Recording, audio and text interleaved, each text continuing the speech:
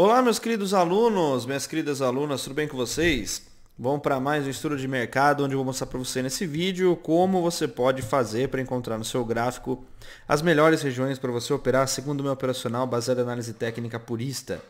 Vou mostrar para você nesse vídeo passo a passo para encontrar no seu gráfico pontos que te ofereçam uma alta lucratividade, um baixo risco e uma altíssima taxa de acerto em suas operações. Antes da gente começar, eu queria pedir para você deixar o like nesse vídeo, se inscrever aqui no canal e assinar o sino de notificações para que você possa sempre receber quando tiver vídeos novos. Também não deixe de conferir na descrição desse vídeo mais informações uh, sobre todos os meus materiais disponíveis aqui para você. Pessoal, esse é o gráfico de 5 minutos do mini índice, o pregão que nós tivemos na sexta-feira, um pregão muito é, divertido de se operar. Nós tivemos ali uma movimentação fenomenal Pegamos tanto a descida, tem dois trades da descida aí que nós fizemos uma alavancagem dentro de um trade maior. A subida não está marcada aí, mas nós fizemos também uma subida aqui pegando esse movimento de spring com alvo até o último order block, o que totalizou para a gente aí 2.050 pontos, se eu não me engano. Depois o mercado acabou encerrando ali a parte da tarde mais devagar, né, um pouco mais consolidado, que vai servir para a gente utilizar isso daqui uh, para esta semana como principal movimento de análise, visto que nós iniciamos um novo ciclo de Wyckoff aqui, se você se você acompanha ali a teoria de Wyckoff, você pode observar que o mercado passou um bom tempo numa acumulação aqui, fez um movimento de spring, o false breakout jogou o preço para cima. Então acredito que o mercado tende a se manter acima aí é, desses dois níveis aqui de fundo que são os mais importantes para a gente estar tá trabalhando nos próximos pregões.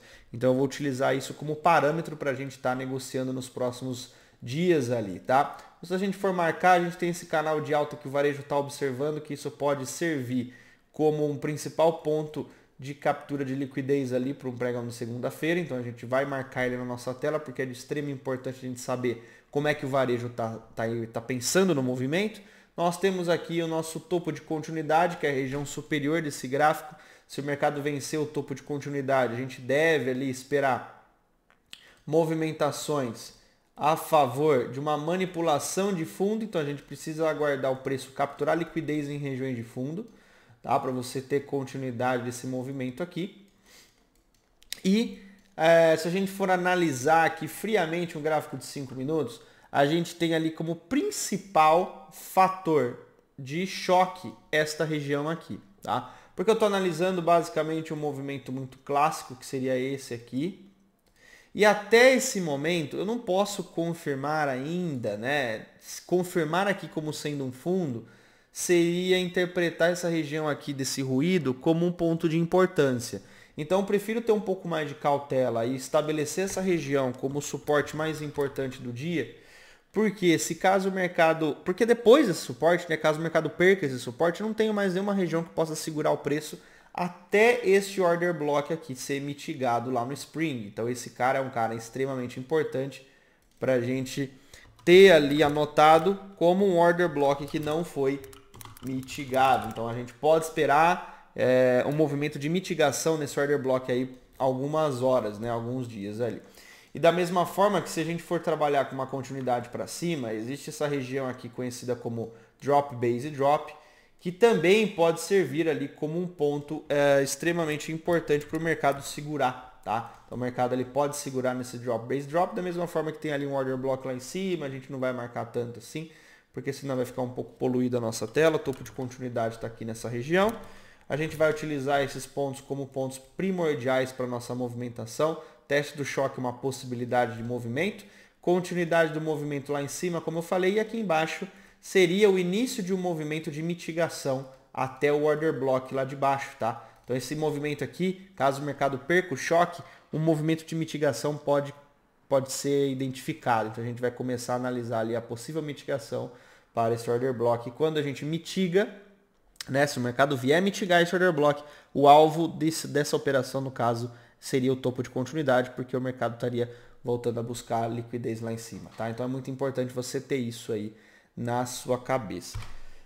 Lá no dólar, tivemos um movimento bem interessante de é, fake out, tá? O mercado fez um movimento de fake out muito interessante aqui, da mesma forma que ele fez lá no índice, o mercado fez o spring no índice, aqui ele fez o fake out, capturou liquidez em duas regiões de topo, jogou o preço para baixo.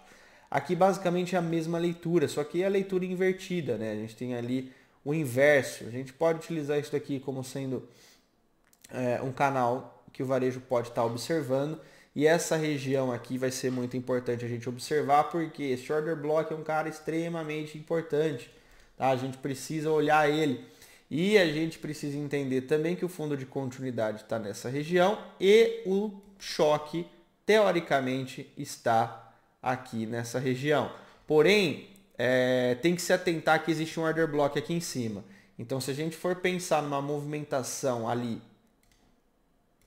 mais segura para se trabalhar, a gente não faria vendas até o order block, tá?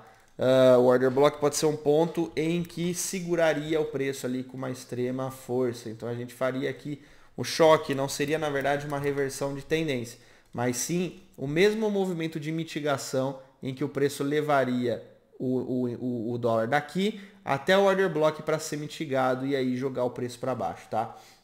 Então cuidado porque pode existir aqui a possibilidade do mercado fazer um teste nesse order block mesmo ali rompendo o choque, certo? Se você quiser colocar ali já para ficar mais fácil para você, tudo bem, mas entenda que a gente vai vou pôr aqui para ficar mais fácil, vai, senão muita gente vai confundir, porque não tem como você comprar ali numa região como essa com um order block desse e ainda mais com o varejo acreditando no rompimento dessa linha. Então isso, tudo isso daqui vai servir para gerar liquidez para você uh, na hora de trabalhar. Então isso daqui eu vou interpretar simplesmente como um equal highs, que é um ponto em que exista liquidez para a gente trabalhar, tá?